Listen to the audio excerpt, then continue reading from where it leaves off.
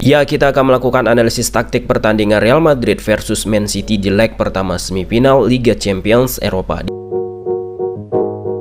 Di atas kertas Real Madrid gunakan pola 1-4-3-3, sedangkan Man City di atas kertas gunakan pola 1-3-2-4-1. Ketika tanpa bola, pendekatan pola yang dimainkan Man City yaitu 4-4-2.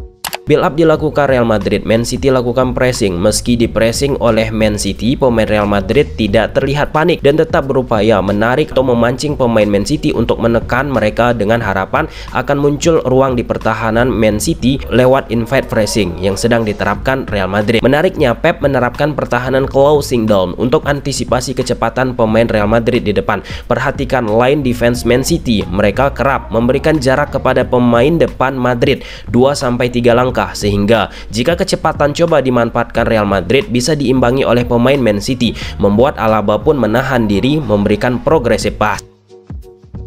Tanpa bola, Man City menggunakan shape 4-4-2. Bypass dilakukan Courtois di saat mencoba menarik pemain Man City menekan pemain Real Madrid saat build up. Line defense Man City kembali melakukan closing down, menjaga jarak ke pemain Madrid sehingga kecepatan yang akan coba dimanfaatkan Real Madrid bisa dijaga keseimbangannya oleh pemain Man City. Modric mencoba drive bola seperti yang dilakukan Alaba di klip awal. Namun Modric kembali lakukan back pass sebab line defense Man City kembali menjaga jarak dengan pemain cepat Madrid di depan sehingga jika tetap dipasing Modric ke depan akan mudah dimatikan oleh defense Man City. Real Madrid coba masuk ke defense Man City lewat Vinicius karena defense Man City dengan solid menerapkan closing down dengan mudah. Walker antisipasi gerakan Vinicius Sulit dari permainan build up, Madrid coba memanfaatkan dari situasi transisi setelah berhasil recovery bola dari pemain Man City.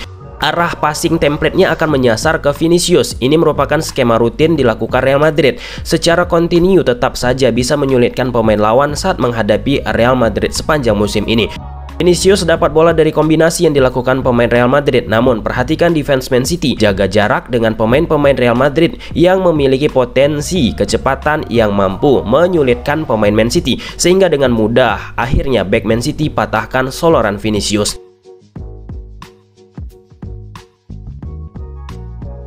Lewat transisi kembali coba dilakukan pemain Real Madrid dengan penerapan defense tersebut berhasil Man City menurunkan intensitas keberbahayaan attacking transisi Real Madrid lewat Vinicius.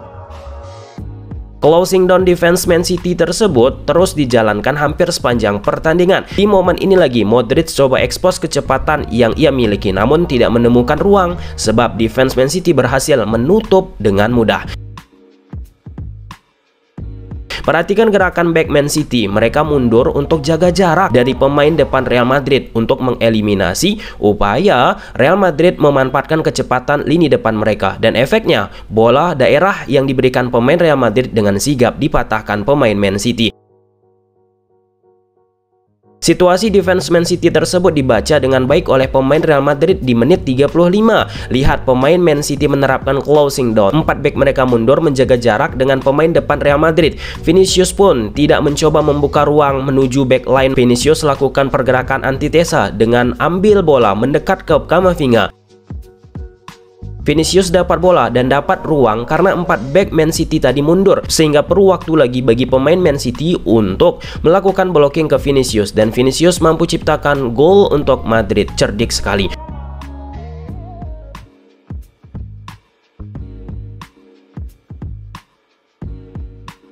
Pada fase attacking di awal laga, Man City terlihat kesulitan untuk bisa memprogresikan bola dari area tengah. Sebab Stones dan Rodrigo secara numerikal mereka dikalahkan jumlahnya oleh tiga pemain Real Madrid seperti di grafis ini.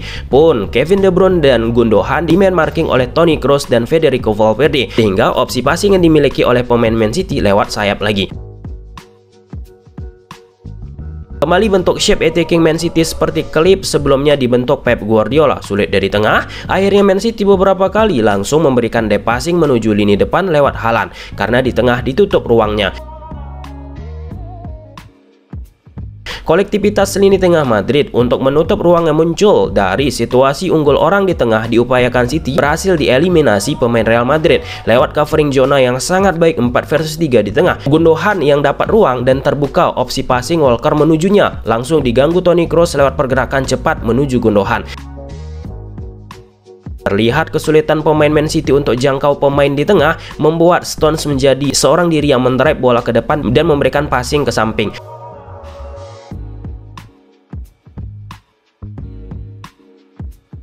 Sulit dari umpan 1-2 sentuhan, Man City pun beberapa kali lakukan permainan direct ke depan, memanfaatkan bola kedua dari perebutan bola di udara. Di saat pemain Real Madrid berhasil ditarik pemain Man City untuk lebih naik ke depan. Terjadi duel udara, situasi seperti ini coba dimanfaatkan Man City untuk renggangkan defense yang dibentuk Real Madrid. Man City lagi pancing pemain Real Madrid untuk melakukan pressing dan Ederson incar posisi Halan untuk memanfaatkan bola second ball dari duel udara yang terjadi. Cara seperti ini berhasil membuat Man City bisa sampai ke daerah final third namun belum bisa menciptakan gol. Di saat Madrid unggul, Madrid pun coba merapatkan pertahanan. Man City pun punya style bagaimana cara membongkar defense yang dalam dilakukan lawan selama musim ini. Dengan dominan pemain City akan mencoba lakukan gerakan mendekat ke gawang lawan dan menarik perhatian back lawan. Kemudian ada satu pemain datang dari second line yang berdiri bebas setelah pemain City yang lain berhasil menarik fokus back-back yang bertahan. Contoh seperti ini, pemain City dominan tarik perhatian back Madrid, Kevin De Bruyne bebas tanpa kawalan. Kontroversi terjadi sebelum gol penyama kedudukan bagi Man City. Di sini wasit anggap bola belum keluar dan tidak melihat video asisten referee. Bola tetap on play dianggap. Sedangkan dari salah satu media raksasa olahraga, dari tampilan yang mereka sajikan, bola dianggap sudah keluar. Dari situasi tersebut, Man City mendapatkan kesempatan melakukan crossing. Crossing tersebut berhasil diredam oleh Luka Modric. Hasil bola yang dianggap sebagian besar warganet tadi sudah keluar, sekarang bolanya sudah dikuasai pemain Madrid lewat Kamavinga. Artinya sudah tidak tidak berpengaruh lagi situasi tadi karena bola dipegang pemain Madrid. Namun di sini Kamavinga tidak prima melakukan passing dan bisa dibaca oleh pemain Man City dan tercipta satu gol.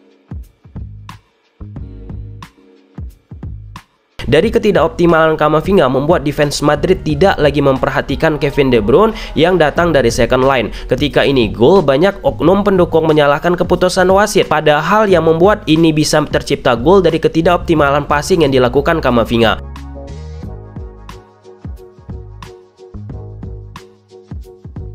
Kontroversi lain terletak di momen tendangan Vinicius terkena tangan Stones. Apakah ini handball? Dari Law of the Game pasal 12. Case ini tangan tidak terbuka dan berusaha untuk menghindari bola. Jadi keputusan wasit tepat.